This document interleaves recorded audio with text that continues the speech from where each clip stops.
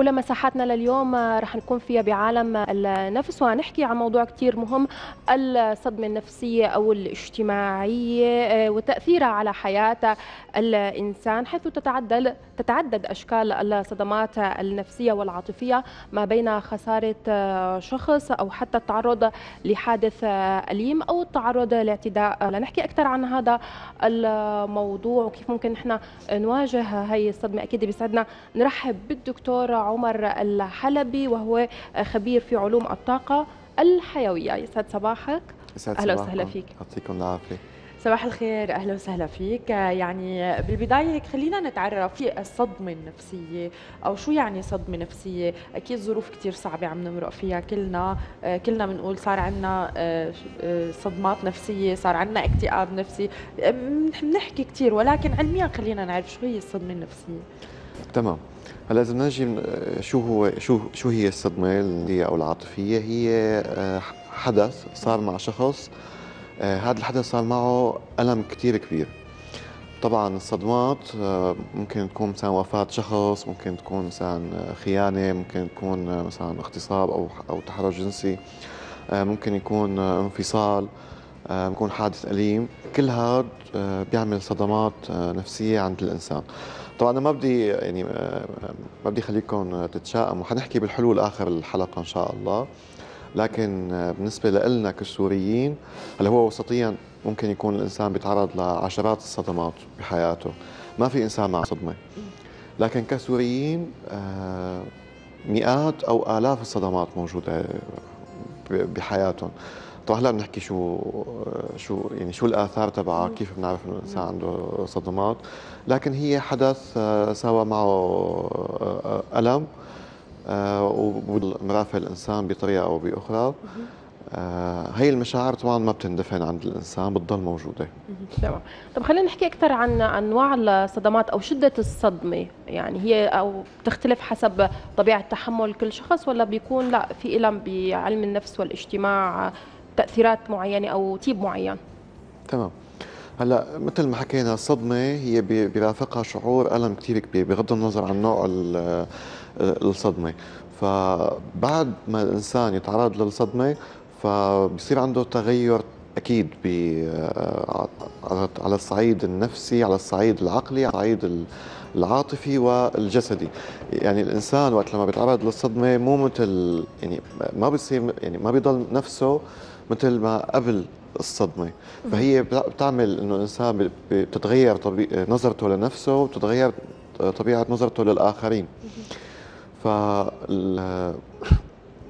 في كثير ناس بتفكر إنه واحد إذا صارت الصدمة مثلا قبل عشر سنين من حياته فخلال السنين هو حينساها. هي لا ما بينسى الإنسان شعور الصدمة.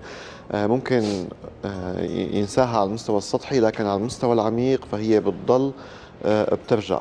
كيف في مشاعر الإنسان بت يعني مثلا ممكن الواحد يحس بشعور آه، حزن أو شعور تعاسة أو غضب أو ألم ما بيعرف شو السبب تبعه أو تغير مزاجي. هي المشاعر اللي ما لها أسباب هي السبب العميق تبعها هي التعرض لصدمة بحياته هي المشاعر ما طلع منها. فهي يعني لا حدا يفكر إنه الصدمة مع السنين الواحد نسيها هو بينساها على المستوى السطحي لكن على المستوى العميق بتضل هي المشاعر جواته على مستوى اللاوعي. نعم. خلينا نحكي عن الردود يلي بتسببها الصدمات النفسية. يعني بنشوف أمراض كثيرة بتظهر أمراض جسدية بتظهر بأيام متقدمة بالعمر من وراء الصدمات النفسية. خلينا نحكي عن تأثير الصدمات النفسية بالأمراض الجسدية وخاصة السكري الضغط الغدة. في كثير أمراض يمكن لها علاقة بالصدمات النفسية. تماما. ما هو نحن إذا بنحكي ك كعلم كعلم الطاقة الحيوية نحن بنشوف آه، أصل الأمراض هي سببها نفسي خصوصا أنت الشيء اللي حكيتي عنه آه، هي الصدمات كل ما كانت صدمة شديدة أكثر كل كان تأثيرها على الجسد أكثر مثل مثل ما حكيتي آه، أمراض السكري أمراض الضغط هي بيكون قبل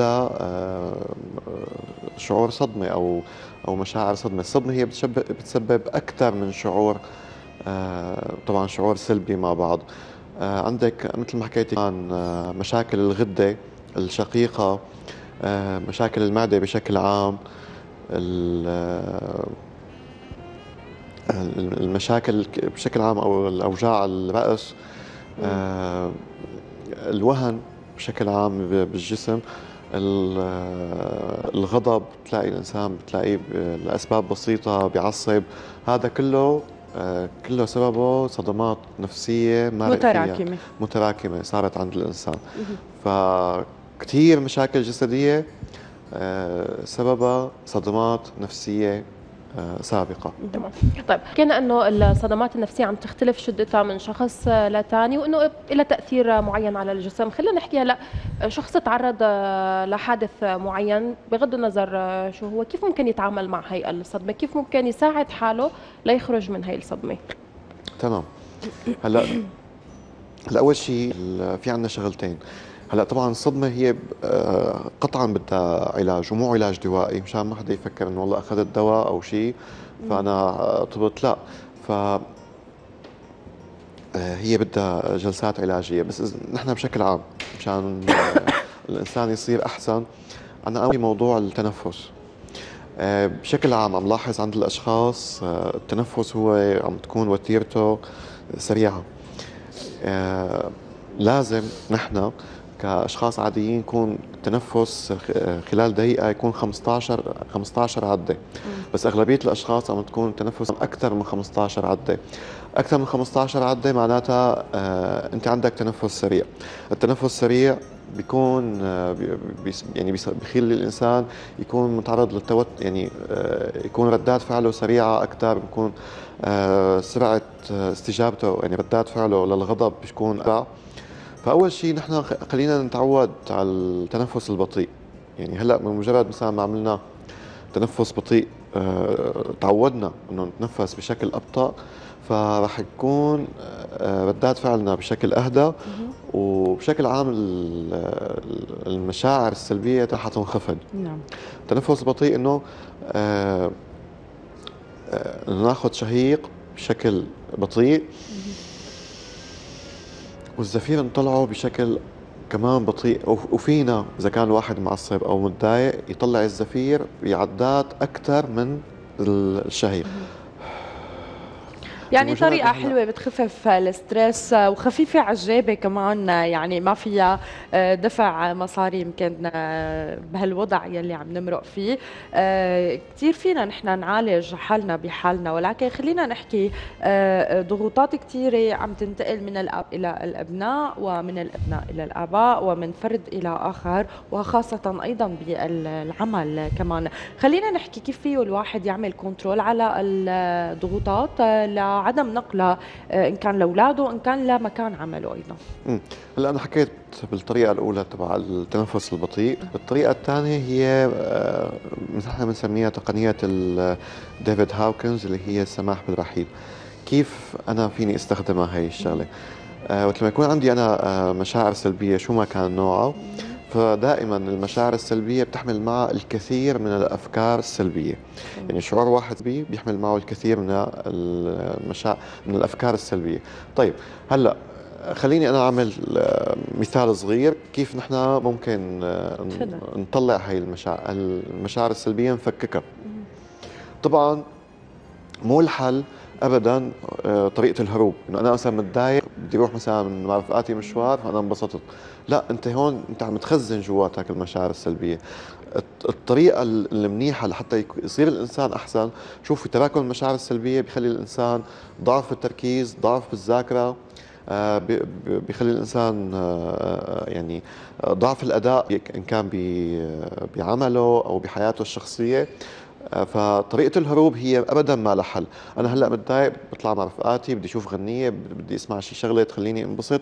هذا هروب. وبالتالي المشاعر انكبتت وهي المشاعر رح تطلع بطريقة ثانية بعدين. طيب أنا وقت ما تجيني مشاعر سلبية شو بدي أسوي أول شيء الشعور السلبي. مثلا أنا هلأ آه عندي شعور بالإحباط.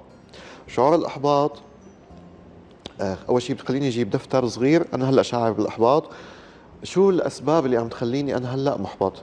طلع الأسباب. مثلا أنا آه، ضاع وقتي على على شيء معين. أنا مثلا آه، بالشغل ما عم يعملوا لي تقدير للجهد تبعي. أنا مثلا يعني بحط الأسباب كلها. يعني بضل بحط الأسباب لحتى ما الاقي إنه ضل عندي ولا سبب. مثلا طلعت عندي عشر أسباب لشعوري بالإحباط هلأ. تمام؟ هي الأسباب متى ما طلعتها كلها سجلت كتبتها بمسك أول سبب. مثلا عدم التقدير بالشغل. عدم التقدير بالشغل بحس بالشعور تبعه. أنا أنا هلأ شو عم ساوي؟ أنا عم جزء الشعور. شعور كبير أنا عم جزئه تمام؟ طلعت أول سبب اللي هو مثلا عدم التقدير بالشغل. آه فبشعر يعني بشعر الشعور السلبي تبع هذا السبب لحاله. ما شعرت بالشعور كاملا. شعرت بهذا الشعور تبعه. إنه أنا هلأ عدم التقدير بالشغل تبعي. ف آه، بلشت أشعر بالمشاعر السلبية تبعه. بشعر فقط بالشعور يعني بالشعور يعني كيف؟ بلش أتعامل مع الشعور كشعور لحاله. آه مثلا هلأ أنا عم عم بشعر بالمشاعر السلبية اللي هي عدم التقدير بالشغل. آه هل هذا الشعور خفيف؟ هل هذا الشعور ثقيل علي؟ وين عم بشعر بهذا الشعور؟ بمنطقة القلب منطقة البطن آه، بالرأس؟ وين كان؟ هل هذا الشعور آه عم يضايقني كثير هو شعور آه عم يضايقني شوي. يعني بضل بوصف الشعور تبعه. في يعني آه, علماء النفس اللي اللي اللي بيحكوا عنا بعلم الطاقة بيقول لك إنه بمجرد ما أنت عم تمسك الشعور فهذا الشعور حيفلت كيف حيفلت؟ يعني حيبلش يطلع منك. بمجرد ما بلشت أوصفه شعور ثقيل شعور خفيف آه، وين مكانه بالجسم كذا كذا كذا عم بوصف الشعور تبعه تمام؟ فحبلش هذا الشعور يخف يخف يخف لغاية ما يروح. بمسك السبب الثاني إنه مثلا ضاع وقتي على شيء معين فأنا حسيت بسببه بالإحباط. بمسك هذا الشعور. هل هذا الشعور هو آه، خفيف علي ثقيل وين مكانه بالجسم؟ آه، كل قديش بيجيني؟ بلش بقى أوصف هذا الشعور. فكر إنه أوصفه وين عم يجي وشو عم يصير فيه وكذا كذا كذا. فمجرد ما بلشت بهذا الشعور شو عم يصير فيه بجسمي إمتى عم بحس فيه إمتى كذا كمان حبلش يختفي. فمسكت واحد واحد بعد ما خلص هدول العشر أسباب حلاقي انه شعور الأحباط عندي كله اختفى. يعني أعطيتكم طريقة كثير سهلة تمام؟ طبعا آه معاملتك تعاملك مع الشعور السلبي هو للناس الشجعان. أغلب الناس بتهرب من المشاعر السلبية وبالتالي حيضل عنده حيتراكم وحيجيها مشاعر سلبية بدون ما تعرف ليش. حيجيها مزاجية بدون كمان ما تعرف ليش. آه وطبعا هذا الشيء كمان حيسبب آه مشاكل بالنوم. أغلب الناس حاليا اللي أنا عم اتعامل معها عندها مشاكل بالنوم. عندها قلق. عندها قلق. فالشجعان هن اللي بيتعاملوا مع المشاعر السلبية تبعهم. أما الناس الثانية هي بتفضل الحلول السهلة. تستسلم تستسلم إلى لهذا الشعور أو عم تهرب منه بأي بأي طريقة ثانية فكثير مهم نتعامل مع المشاعر تبعنا وكثير مهم ما ننهلا لأنه كل هاي التراكمات بعيد الشر عن كل السامعين بتسبب أمراض بالمستقبل لأنه المشاعر السلبية ما بتروح لحالها ابدا. طيب. آه، كنا عم نحكي نحن تقنيات كيف نتعامل مع هي الصدم الصدمات ولكن في سؤال إنه فورا لازم نبلش بتقنيات تفريغ هي الشحنات السلبية أو الصدمة ولا لا؟ في أشخاص إنه لازم تعيش فترة من الزعل أو فترة من الحزن لتقدر تطلع الشيء السلبي اللي جواتك. صح عم تحكي. هو الشعور يعني الشعور يعني إنه الواحد يفوت بالشعور لحاله لل max هي كمان بتعمل تفريغ لهي المشاعر. أكيد اللي حكيتيه هو صح. آه، إذا واحد شعر بالخوف كذا يعيش بهذا الشعور لل max. يعني إنه الواحد يضل فايت بهي يعني بهي الحالة بس بدون ما يكون يعني يفوت بالشعور تبعه بدون ما يفوت بشيء ثاني صح. إنه هي الطريقة اللي عم تحكيها صح. فيني كمان يكتبها يعني يكتب كل شيء آه، مضايقه يطلع كل شيء الأفكار اللي جواته يطلعها على كتابه كمان هي بتساعد. تمام. يعني آه، قبل ما نختم آه، خلينا هيك آه، نحكي بالحلول الأخيرة أو بفقرتنا أو بآخر فقرتنا. خلينا نعطي آه، الحلول وخلينا نعطي الأفكار لكل حدا. آه، كيف يلبس لون حلو؟ كيف يطلع من البيت؟ حكينا عن الشهيق والزفير. حكينا آه، كمان عن كثير قصص. يمكن فينا نحن نعطيها أصلا بطاقة حلوة للعالم لحتى نحن نستمد طاقة حلوة أيضا. يعني خلينا هيك نحكي بعشر خطوات هيك موجيز عن القصص اللي حكيناها. طبعا بس في نقطة بس بدي نوه عليها إنه آه، أغلب مشاكل المال، أغلب مشاكل الشغل هي بسبب صدمات، أغلب مشاكل العلاقات هي بسبب الصدمات النفسية اللي متعرضين عليها، أغلب مشاكل انه واحد ما عم يقدر يحقق أهدافه كمان هي بسبب صدمة نفسية. فأغلب المشاكل اللي عم تصير معنا بحياتنا وعدم الإنجاز هي بسبب صدمات، هي عم آه، حبيت نبه عليها.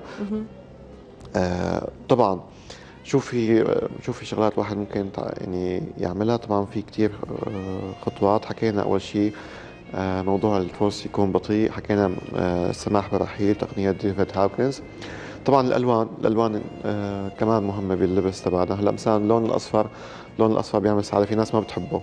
اللي ما بحب اللون الأصفر هذا عنده مشكلة بموضوع السعادة. تمام؟ اللون الأصفر مثلا بالأكل أي شيء لون أصفر إذا أنت بتاكله أو بتشربه كمان هذا رح يغير آه، طاقتك للأفضل.